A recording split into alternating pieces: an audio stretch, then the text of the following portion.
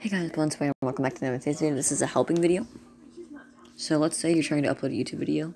This just happened to me, that's why I'm making it, and I figured this out myself. I watch no YouTube videos because none of them help me. Let's say you're trying to upload a video and it says upload queued, or upload pending. It sits there for hours and hours and hours without changing. The way I did it is, personally, I went to my apps, right? I press and hold on YouTube, then let go, press app info,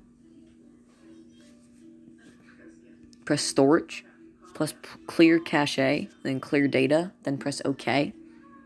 Then you load into YouTube. It should auto automatically sign you in or make you sign in again, which is no problem. Then you go to upload, pick the thing you want to upload, like I'm doing this one. Um, and then you type in whatever you want, blah, blah, blah.